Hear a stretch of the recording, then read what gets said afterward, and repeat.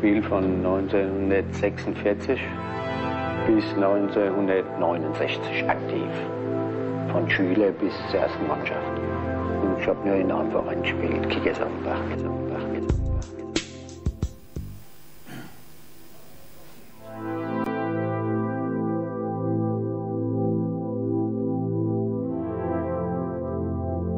Ich habe gespielt von 1946 bis 1969 aktiv. Von Schüler bis zur ersten Mannschaft. Und ich habe nur in einem Verein gespielt, Kickersanbach.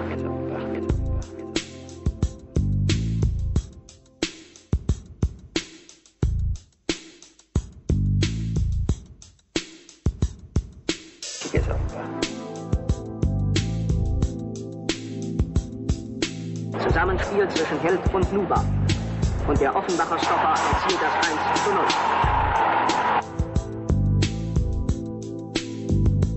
Immer locker, locker, ohne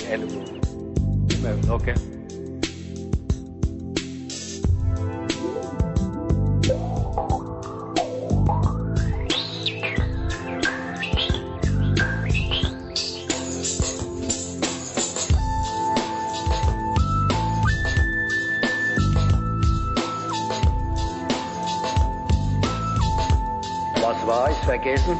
Geht wieder bei Null los. Und da müssen wir halt sehen, dass wir schnellstens unsere Punkte machen. Vor allen Dingen die erste drei wischen.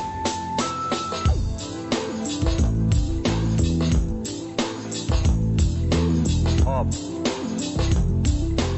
Hopp. Hopp. Und der nächste, der springt. Hopp. Hopp. Hopp. Aktiv.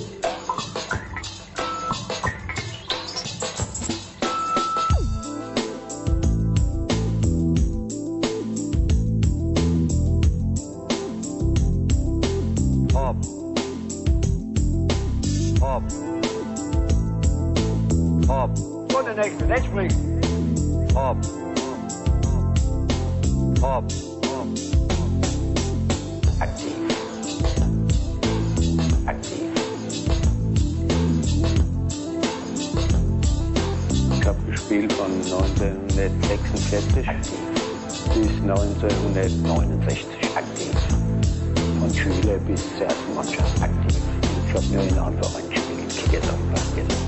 Hopp. Hopp. Hopp. Und der nächste, der springt. Hopp. Hopp. Und der nächste, der springt. Hopp. Hopp. Und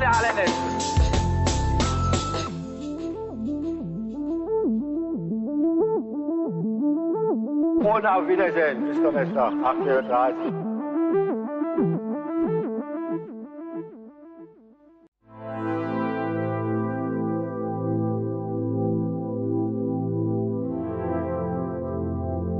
Ich habe gespielt von 1946 bis 1969 aktiv. Von Schüler bis zur ersten Mannschaft. Und ich habe nur in einem Verein gespielt, Kickersanbach.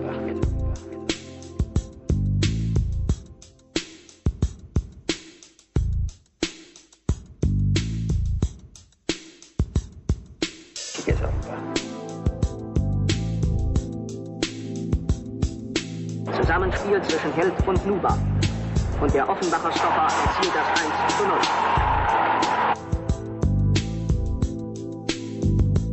Immer locker, locker, ohne Ellbogen.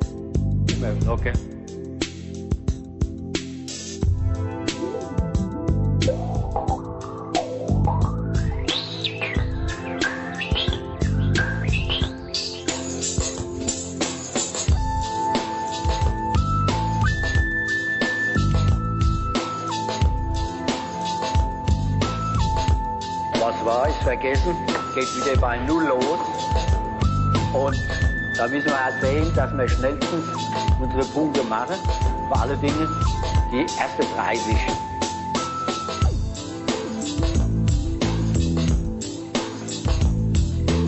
Hopp. Hopp. Hopp. Und der nächste, rechts springen. Hopp.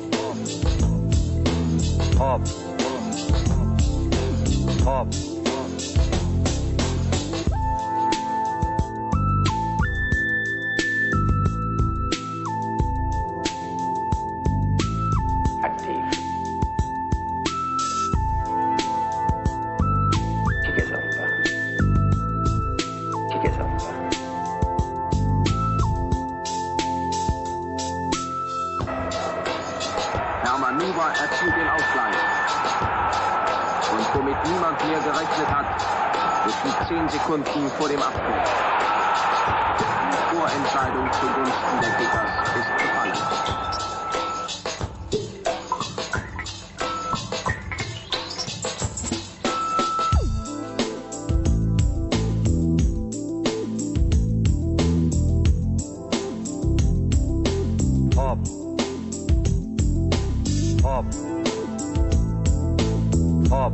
Und der nächste, rechts springen. Hopp. Hopp. Aktiv. Aktiv. Ich habe gespielt von 1946 aktiv bis 1969 aktiv. Schüler bis zur ersten Mannschaft aktiv. Ich habe nur in Anführungszeichen gespielt. Kickers Hopp. Hopp. Hopp. Und der nächste, rechts springen. Hopp. Hopp. Und der nächste, rechts springen. Hopp. Hopp. Und der allerletzte.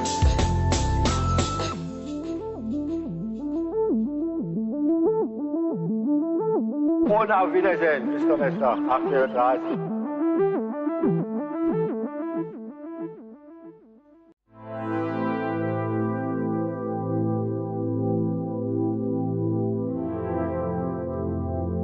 Ich habe gespielt von 1946 bis 1969 aktiv. Von Schüler bis zur ersten Mannschaft. Und ich habe nur in Anführungszeichen gespielt. Kickersampach, Kickersampach, Kickersampach.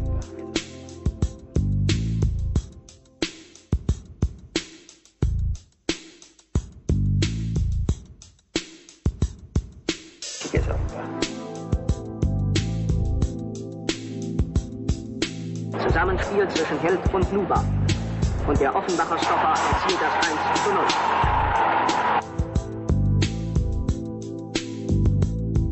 Okay, okay, un Ellbogen. Okay.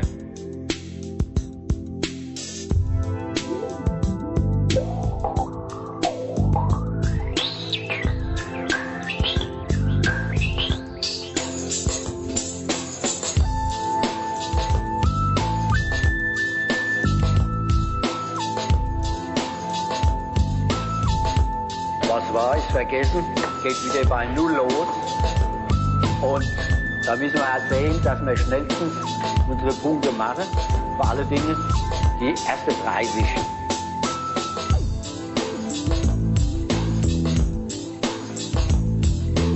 Hopp. Hopp. Hopp. Und der nächste, rechts springen. Hopp. Hopp. Hopp. Aktiv.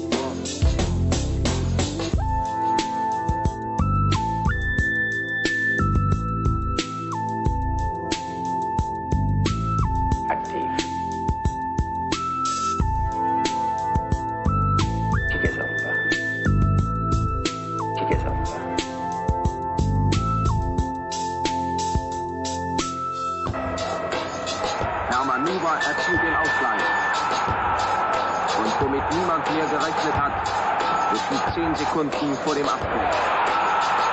Die Vorentscheidung zugunsten der Kickers ist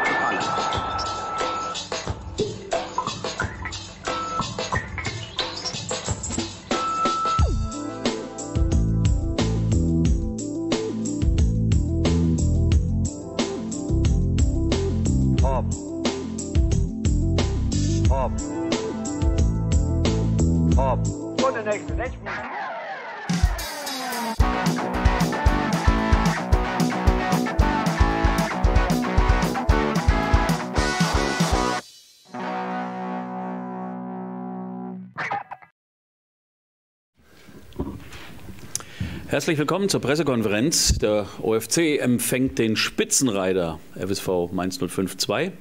Samstag 14 Uhr hier auf Biebers Höhen. Der Vorverkauf läuft bereits. Und ich freue mich, dass wir Matteo Andacic heute mal bei uns haben. Hallo. Hallo. Und natürlich den Cheftrainer Sreto Ristic. Hallo. Matteo, fangen wir mit dir an. Du hast nicht nur gespielt, nein, du hast auch geknipst.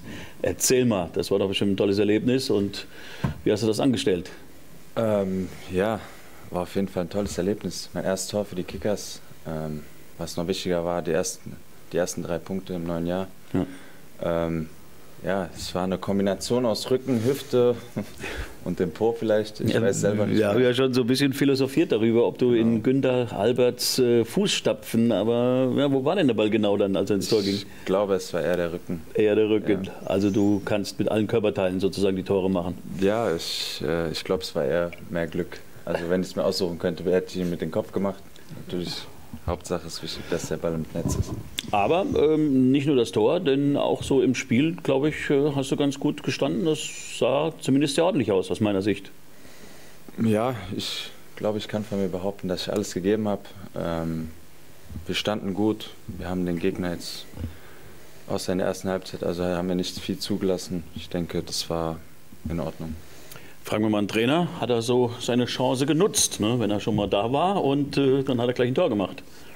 Ja, Matteo hat es äh, gut gemacht. Der hat, äh, wir haben das System geändert und äh, ich habe versucht, äh, auch ein bisschen zu vereinfachen, auch äh, weil Angelo nicht so oft gespielt hat und wir haben dann wirklich nicht so viel Fußball gespielt. Wir haben relativ schnell die Bälle ähm, vom 16er weggespielt, nach vorne gespielt, so hat er sich richtig gut äh, eingefügt, wie der selber gesagt hat, äh, auch sich mit dem Tor belohnt hat. Das war schon sehr gut für den ersten Auftritt.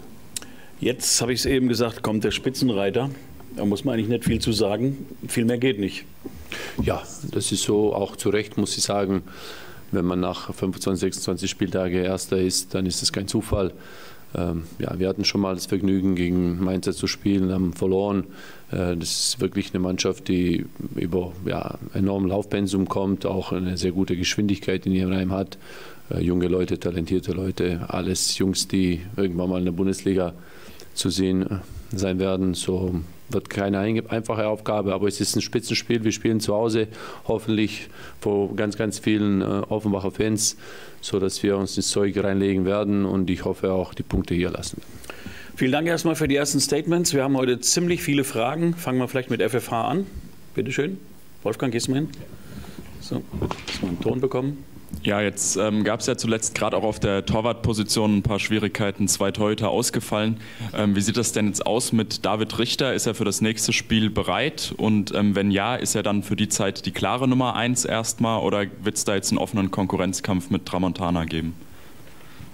Ja, äh, David hat sich gestern freigetestet, so äh, wird er heute und morgen nochmal mit uns trainieren und dann wird man sehen, wie er sich fühlt. Äh, und wenn er gesund ist, wird er auch spielen. So ist es auch vorgesehen. Ich, äh, eine ganz klare Hierarchie. David ist ein äh, zweiter Torwart gewesen, mit dem Anspruch auch der Erste werden zu können. Und die Qualität äh, hat er, das trauen wir ihm zu. Angelo hat seine Sache sehr gut gemacht. Aber ich denke, dass wenn der David spielen kann, auch spielen wird. Ja, und ähm, dann noch eine Frage. Jetzt konnte man auswärts endlich wieder gewinnen, aber ähm, nach der Pause gab es ja noch keinen Heimsieg. Wie, äh, wie, wichtig wäre das jetzt insgesamt für den ganzen Verein und äh, auch mit den Fans, also vor den Fans jetzt auch endlich wieder gewinnen zu können? Ja, das ist äh, äh jeder, jeder Sieg tut uns gut und äh, jetzt ist es an der Reihe auch zu Hause zu gewinnen, unabhängig von dem Gegner. Wir werden alles, alles dafür tun, gegen Mainz hier auch die Punkte zu lassen. Das waren erstmal die Fragen von FFH. Jetzt äh, hat der Kollege Düncher von der Offenbach Post eine Menge Fragen eingeschickt. Äh, der Wolfgang wird sie uns gerade verlesen. So, hallo erstmal Matteo. Frage an dich. Ähm, erster Startelf-Einsatz, erstes Tor. Hatte die Partie in Waldorf für dich ein teures Nachspiel? Sprich, haben die Kollegen etwas von dir eingefordert oder wie sahen die Reaktionen aus? Ähm, eingefordert wurde nichts, aber ähm, alle haben sich gefreut für mich. Ähm, ich denke, das hat man auch gesehen. Ähm, ja, ich weiß nicht, was ich dazu sagen soll. Es war einfach ein äh, tolles Spiel für mich, für das Team. Wir haben drei Punkte geholt. Mehr kann ich nicht dazu sagen. Gut, dann du bist zweimal mit Krämpfen zu Boden gegangen und hast dich schließlich auswechseln lassen. Wie war, waren die Tage danach? Wie fühlst du dich? Ähm, ja, in der Tat, ich habe mich gut regeneriert. Ähm, ich kann von mir behaupten, dass ich jetzt fit wieder bin fürs nächste Spiel und äh, ja, ich denke nach einem halben Jahr, wenn man nicht spielt, dann äh, darf man auch mal zu Boden gehen mit Krämpfen. So. Der Trainer betont immer, dass jeder Spieler wichtig ist und letztlich weiß jeder, dass man allzeit bereit sein muss. Dennoch, wie schwer war es, die Motivation so lange hochzuhalten? Ähm, für mich war es äh, nicht so schwer, weil ich jedes Training Gas gebe. Ähm, ich denke mal, ich habe auch oft mit dem Trainer, wir haben viel geredet. Ähm, er hat mich auch oft motiviert. Ähm, wie gesagt, jeder muss zünden, wenn es darauf ankommt. Jeder muss Gas geben. Ähm, man sieht es ja, wir haben viele Ausfälle. Da, muss jeder einfach bereit sein, um beim Spiel da wert zu sein. Dann noch eine Frage an Matteo. Wie bewertest du deinen ersten Startelf-Einsatz und die Leistung des Teams? Was war gut, was kann, muss besser werden?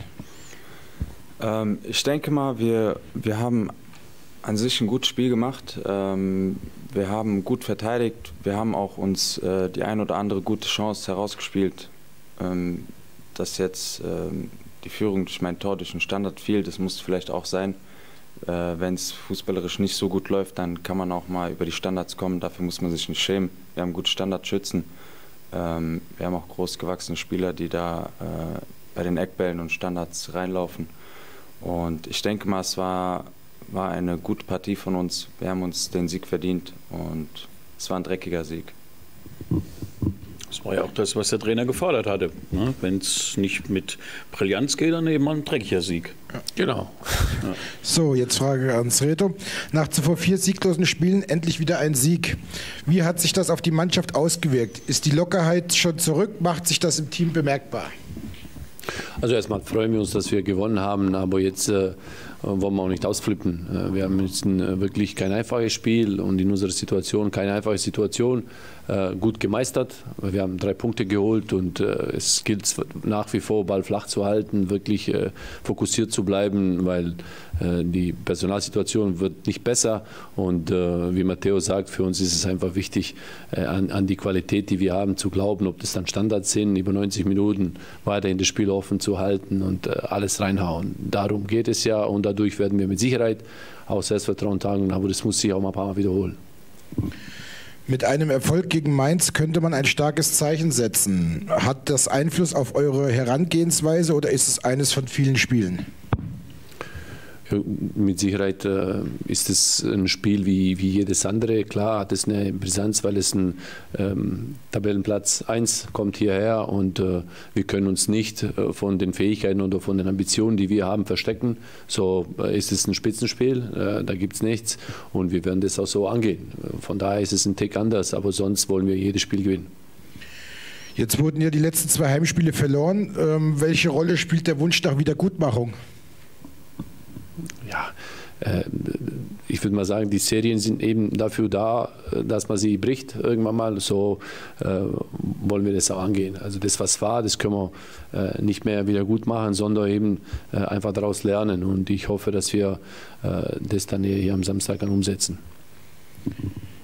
David Richter ist nach Corona-Infektion zurück im Training. Ist er damit automatisch der Kandidat Nummer eins für den Platz zwischen den Pfosten? Ja, das äh, habe ich schon beantwortet. Ja.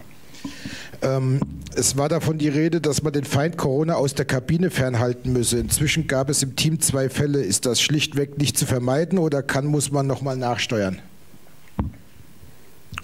Also, wir sind jetzt zwar ein, ein großer Verein, spielen in der Regionalliga, aber es muss man sich nur mal umschauen, was auf der Welt passiert mit, diesen, mit dieser Corona-Geschichte. Bayern München, jetzt Mainz. Also äh, wir tun alles, alles, was wir können, das fernzuhalten und da sind wir ganz gut gefahren. Natürlich, äh, ja, wenn, wenn, wenn es noch was zu tun gibt, werden wir nachbessern, aber ich glaube, dass wir da schon äh, sehr, sehr gut unterwegs sind. Aber so ganz davon sich äh, zu befreien, ist, glaube ich, nicht möglich. Waldorf spielte sogar zu Hause sehr abwartend und lauerte auf Umschaltmomente. Inwiefern erwartet ihr gegen Mainz ein anderes Spiel? Ja, es wird auch schon von der Tabellenkonstellation ein anderes Spiel. Es sind äh, Mannschaften, die oben stehen, für die es eigentlich nur um, um zu gewinnen geht, für beide. So, ich habe jetzt äh, eine Menge Spiele von Mainz gesehen, also die, die können nicht großartig anders. Es ist eine sehr intensive Spielart und Weise, wie, wie sie es angehen. Und wir werden uns da anpassen müssen und werden, werden wirklich an die Grenzen gehen müssen. Und das werden wir auch tun, um, um eben das Spiel zu gewinnen. Mainz hat zuletzt zweimal verloren. Hinzu kommen die Corona-Fälle bei den Profis, die auch Einfluss auf die zweite Mannschaft haben. Erwartet ihr einen angeschlagenen Gegner?